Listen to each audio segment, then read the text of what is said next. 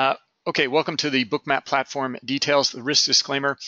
Uh, trading equities and futures involves substantial risk of loss, is not suitable for all investors. Past performance is not indicative of future results.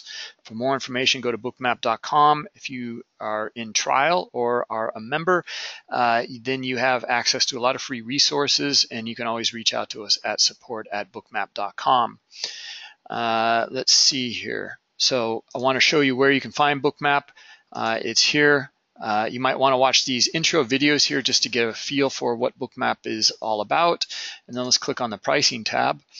Uh, this is where you can find Bookmap and this is where you can uh, get your 14 day trial period. So subscribe here. There's two different versions, the basic and advanced. And the difference between the two are the add-ons and the ability to trade from the chart.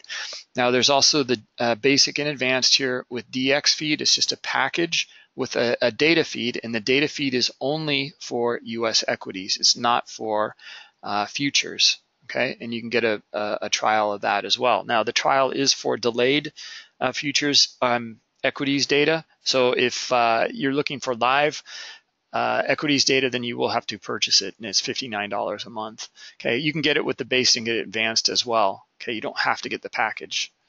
All right. Uh, for more information on the latest on Bookmap, go to uh, our Twitter account and you can follow us there, or you can subscribe as well um, to our YouTube page. And uh, any uh, videos that are uploaded, you'll uh, you can get an alert uh, and um, know exactly when when those are uploaded. All right. Okay. If you're new, uh, then I would suggest starting with some of the features and components videos here. Uh, maybe watch a couple of the order flow video snippets, but this is more of the uh, kind of uh, understanding how to use Bookmap within your trading. Uh, and we get more into this in the advanced uh, analysis webinars. we also have an educational course here, and then the recorded webinars are here. Okay. All right. So let's jump in and take a look at Bookmap and what are we looking at? Okay, let's take a look at the ES and uh, we can see the uh, the sell-off here uh, in the ES. Uh, and um, uh, just going to um, start off with the basics, okay? Because uh, for for some of the newer traders in here, we need to go through this, all right? And actually, I can see quite a, quite a few newer traders in here, and so welcome to the webinar. Uh, and uh, let me show you uh, what Bookmap is all about and what is it uh, uh, displaying here. Okay, so we're just going to go through this. we go through it every day. It's just a simple um, exercise. we're looking at here a five-minute candlestick chart. Okay, and um, most of us are very familiar with the candlestick chart. Open, high, low, close of a five-minute period. All right it's that's all you get in that candlestick chart though. Okay, we do have a subchart here in volume that can be helpful, but uh, the issue here uh, is that um, uh, you know we're making financial decisions based on open, high, low, close. That's the only four data points that we have. Okay, and uh, that makes reading the uh, the buying pressure that you can see down here with the wicks. It makes it kind of nebulous. Uh, we really don't know where the volume is taking place, and that's a problem.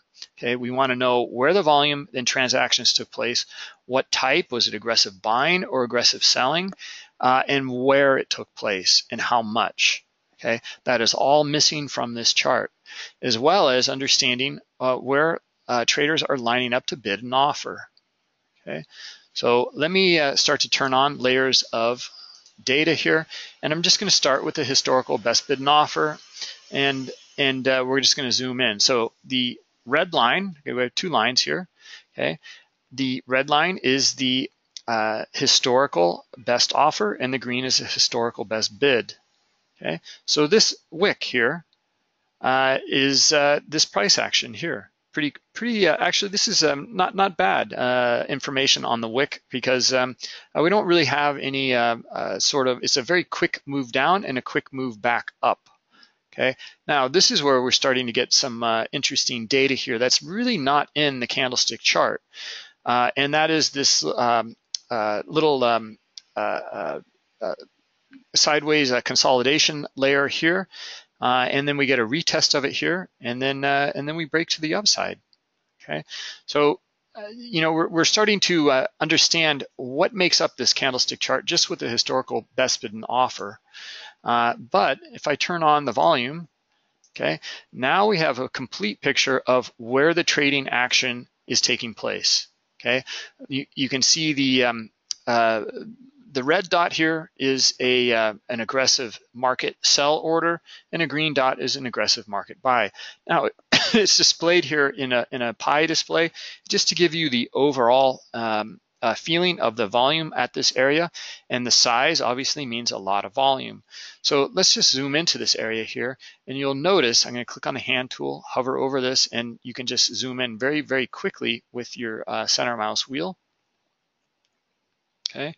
And as I zoom in here, uh, I start to break apart uh, that pie display into all the various elements uh, in each specific event. In fact, I can continue to zoom in here and continue and break apart all of these trades and I can see exactly what took place here. You know, we're down at uh, millions of seconds at microsecond level here, right? This is what unfolded. Right? And we can see that uh, some mechanical algorithmic action here uh, taking place uh, in some of the trading, and uh, that's uh, that's how these markets trade. there is a lot of robots are trading back and forth. Okay, now as I zoom out, okay, note how um, all of these trades get visually and just visually consolidated or aggregated into a bigger dot and that's how we'll display the volume. Okay, so you can see uh, green dot here. Uh, this is an aggressive market buy order. Red dot is an aggressive market sell. That's how uh, we uh, uh, define our volume. Okay, as I zoom out, uh, and you can see that so many trades took place in here that we're giving you still the overall. So the majority of this move to the downside is majority is selling, okay, and a little bit of buying. And then here it's actually pretty flat okay? It's uh, both buying and selling, okay? Okay, so that is the uh, traded volume. Now, that's good. Uh, and uh, let's go back to the current market and take a look here. Um, and you can see the five minute candlestick is, is forming uh, in, in real time here, all right? So um, the uh, it's good to know where the transactions take place. However, uh, and that is traditional tape reading. But the problem here is that um, uh, we still don't know where traders uh, lined up to buy and sell. And usually what we do for that is we go to the DOM, okay, and we look at the liquidity here. Uh, and uh, we're looking at these price levels to see where traders are lining up to buy and sell in this marketplace. This is your level two data. Here's your depth of market on the offer and your depth on the bid. And uh, right here is your inside level one data, your best bid and offer. Okay, it's reflected in this window right here as well. This uh, the dashed green and red is your best bid and offer, and this number is the last traded volume. All right, so now it's good to, to note uh, and have an idea where these high levels of liquidity are, where majority of the sellers and buyers are. Okay, we can see here at 57, uh, pretty high liquidity, uh, 1369 uh, in 70 in, in terms of contracts there. Uh, and then, um, uh, you know, down here at, uh, at 52, we see 1100 contracts. All right, so we, we have an idea where traders are lining up and providing liquidity, and that's helpful. Problem is with a DOM, and this is your DOM in Bookmap, uh, the um, the problem here is that uh, uh, we don't once these numbers change and they're changing constantly. Uh, it's it's um, uh, that that information is lost. That previous information is lost. It's been updated, and we have no record of what this auction looked like previously.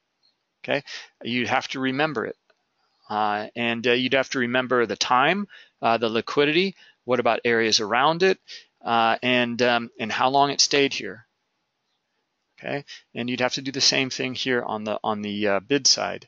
Now, uh, what we do though in Bookmap is we give this liquidity a graphical representation in the heat map.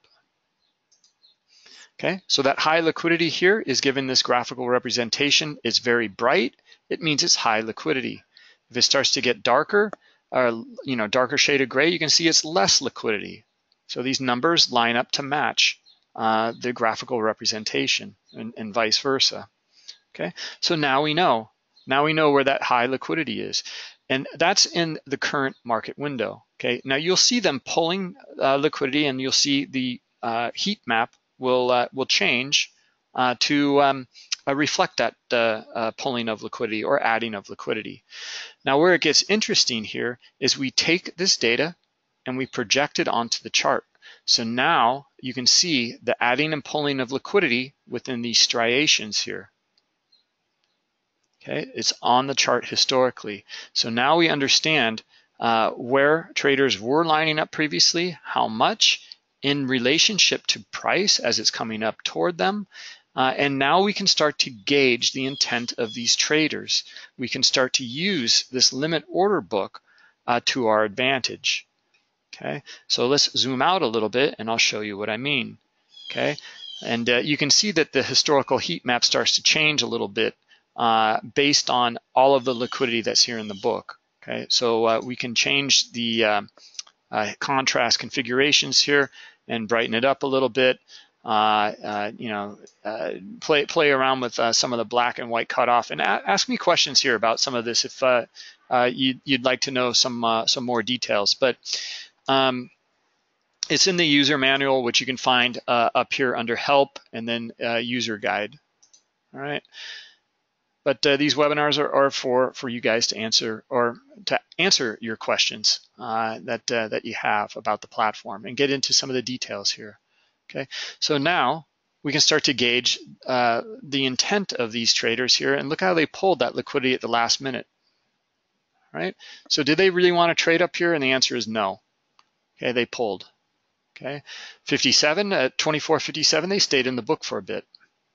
Okay, guys down here at the same moment, uh, and probably the same player at 54 and 53 pulled, uh, and um, and that now you can see that shade of gray. Uh, it got a little darker here.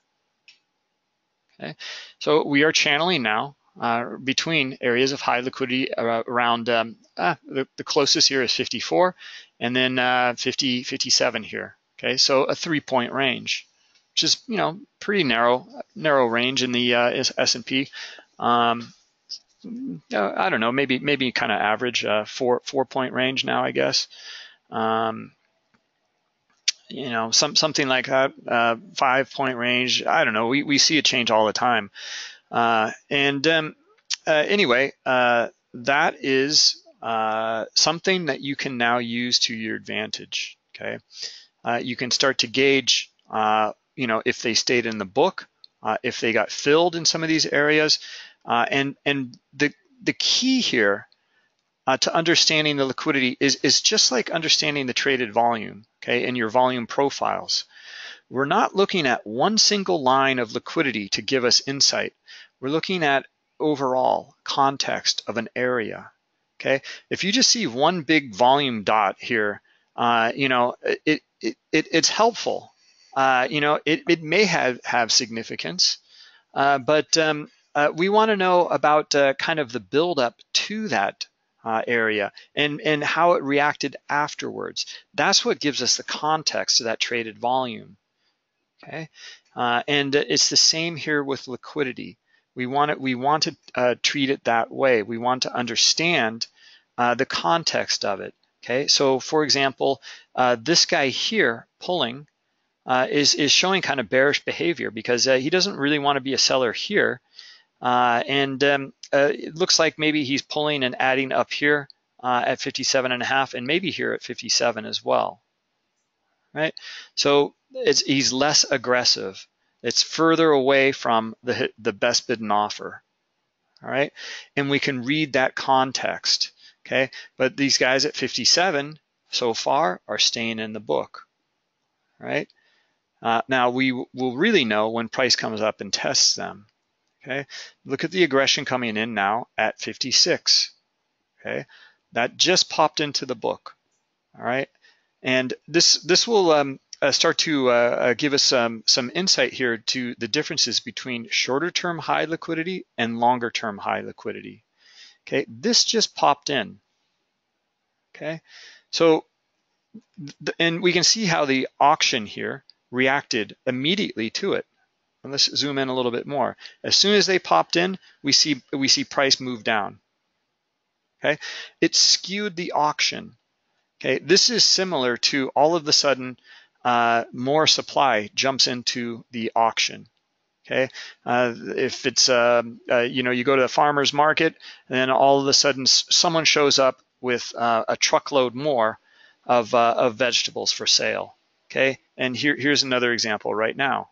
Okay, so now this this we see this kind of activity all the time.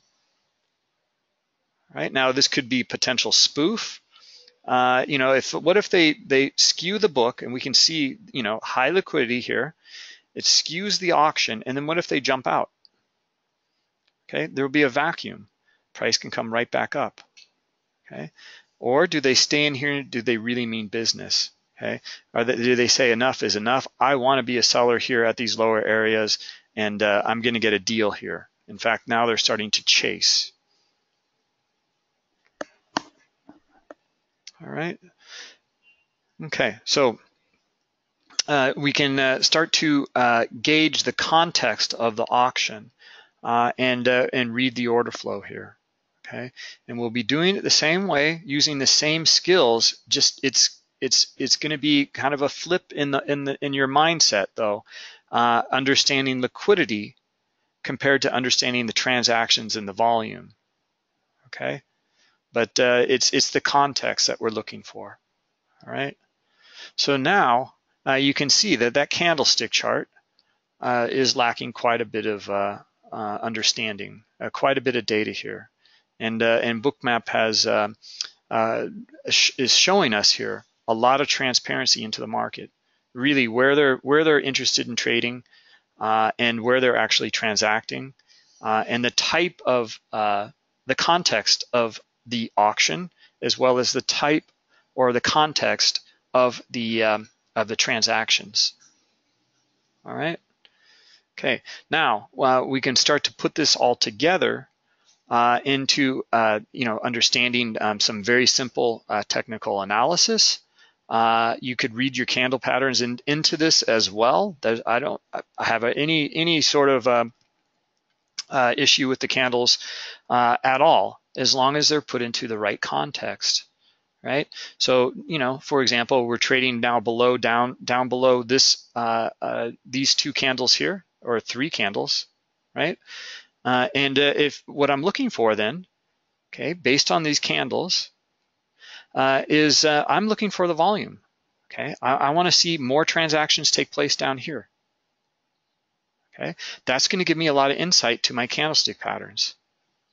Okay, and then uh, I'm also looking for the auction. What's it going to be telling me? Okay, well these guys now look at the the interest here at, at lower levels here. Okay, uh, you know here at uh, at 55 and a half, and uh, and they were here earlier at 56, and they're they're still kind of uh, showing up uh, at 56. Okay, all right. So now I, I've got something. Look for looking for pullbacks. Uh, and uh, you know, if you're looking at your candlestick pattern on your higher time frames, then this now you've got the transparency into that candlestick. You can understand it, right? If you're looking for that, then you would be going short here. Okay, you'd be looking for buying, or I'm sorry, selling on pullbacks. Okay, and now we have a lot more information to support that decision.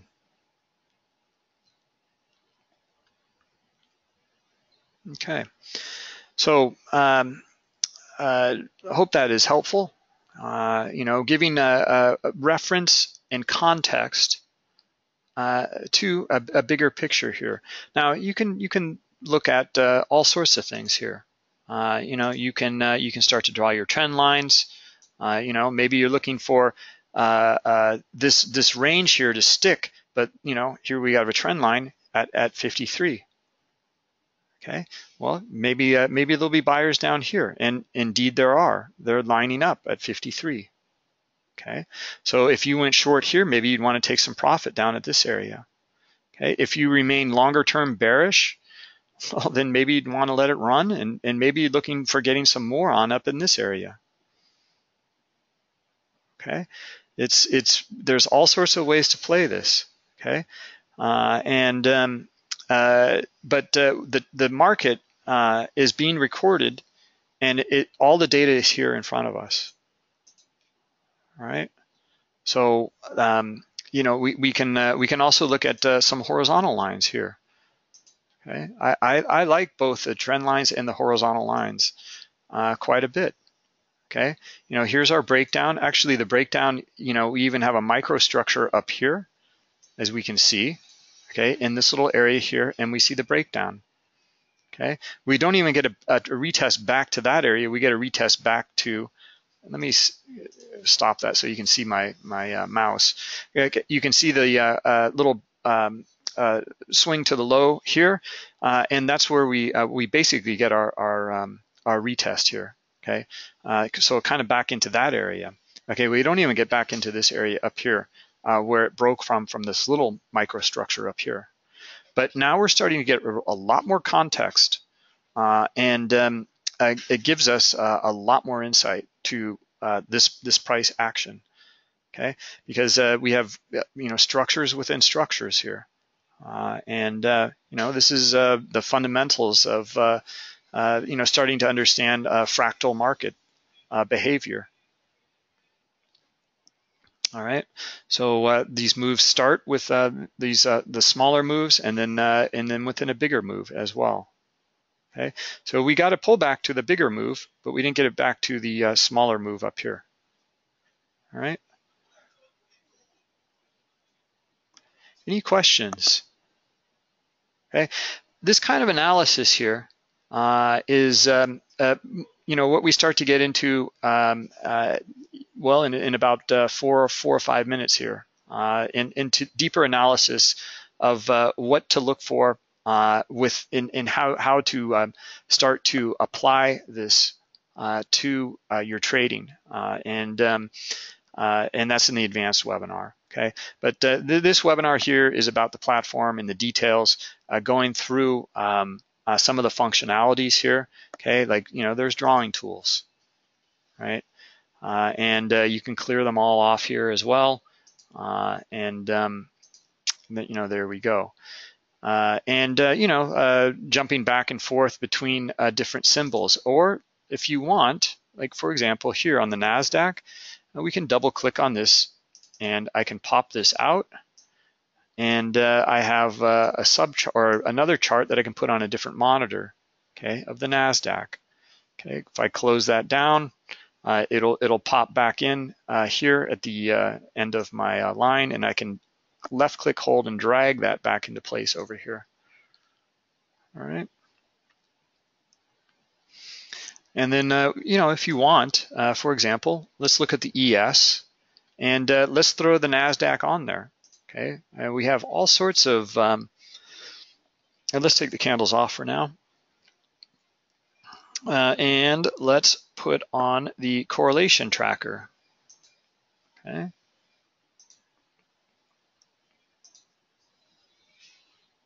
And I'm going to add a correlation of, uh, hmm. Yeah, let's let's put the Nasdaq on. What the heck? Okay. Whoops, and I need to enable it here. Okay, it's going to be a blue line. And I need to turn on my indicators. Okay.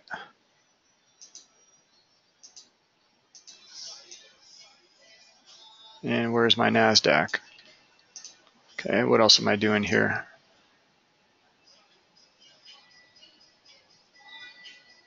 Hmm should do it. Should do the trick.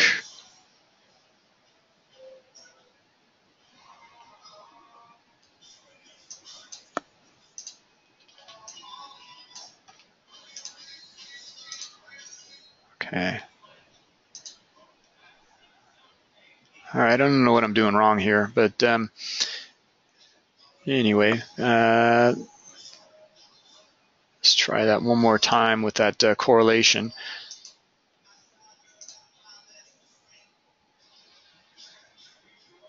Okay. Hmm. okay, I, I, don't know what I'm doing wrong. I don't know why it's not showing up.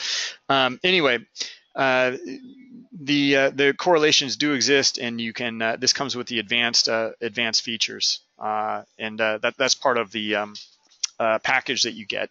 Um, so that is uh, uh, part of the uh, advanced uh, subscription that you that you get. Okay, and you can see these numbers here. These little numbers here is another one. It's another add-on indicator, which is the um, uh, iceberg detector, uh, showing liquidity that traded that wasn't displayed in the limit order book at that moment. so that's that's another one, and and the ability to trade right on the chart too is another nice one. Okay. Okay, so now, uh, you know, you, you can see how we read this here and we can see the uh, the move here to the downside. Um, and, um, you know, it's, it's giving us, uh, you know, we read this pretty nicely, um, you know, looking for uh, uh, a pullback into uh, some of these areas and then looking for that continuation to the downside.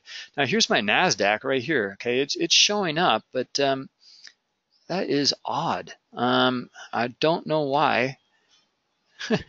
That's funny. Okay, well it, it's it's on there somewhere, but uh, uh, maybe uh, uh maybe I triggered something wrong. Anyway, uh, let me know if you have any questions. Uh, other than that, um, we'll we can see you over in the um, the advanced webinar, and um, let's see, um, Joan, we'll we'll get you up and running here. so you know, I, I I let the guys in support know uh, already, so uh, they, they should be uh, should be helping you already. Okay. Okay. Yeah, you're welcome. Uh, okay. Uh, well, thanks for coming. Um, we will uh, catch up with you guys tomorrow. Okay. Bye bye.